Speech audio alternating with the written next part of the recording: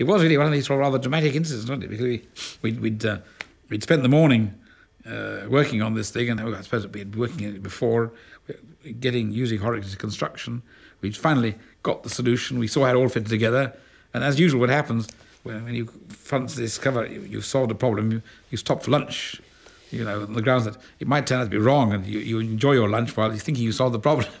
I've done this very often. Sometimes you come back and it's right, sometimes you come back and it's wrong. Anyway, we stopped for lunch, and then we came back after lunch, and there was a letter from Manin saying he'd solved the problem too and uh, spelling out exactly what he was doing. I mean, it was a bit, bit, bit off-putting to find that. The, on the other hand, uh, his, his, his approach, although they, they, I suppose that that's they, they were a little ahead of us because he'd got as far as sending me the details which he'd written in the proof, and we discovered it that morning. So, I suppose in strict chronological order, they they'd done it first. On the other hand, it wasn't totally independent because after my paper with Richard Ward, when we started on this problem, he'd heard about this one. He got interested. in it. He'd written to me and I, would um, told him about the Horrocks construction as an interesting possibility to, to, to, to, you know, a way of going forward. So obviously taking it up with Men, with Drinfeld, they'd, they'd come back and got it.